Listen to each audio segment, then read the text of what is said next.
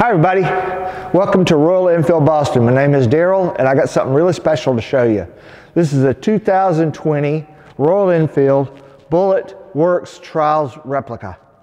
Um, they are only producing 100 of these in two colors, so that's 100 total for both colors. And it's, so it's a very limited production model. It's based on the old Trials uh, Royal Enfields that they had a long time ago. And if you'll come in a little closer, we can have a little bit of a, a see it, check out, check it out a little closer. This bike has fuel injection, ABS brakes, just like all the other Royal Enfields have. Uh, this one has kickstart as well as electric start. Nice brown seat, little storage rack. All these accessories like the hand guards, the headlight guard, the gaiters, all these things are standard equipment on this bike.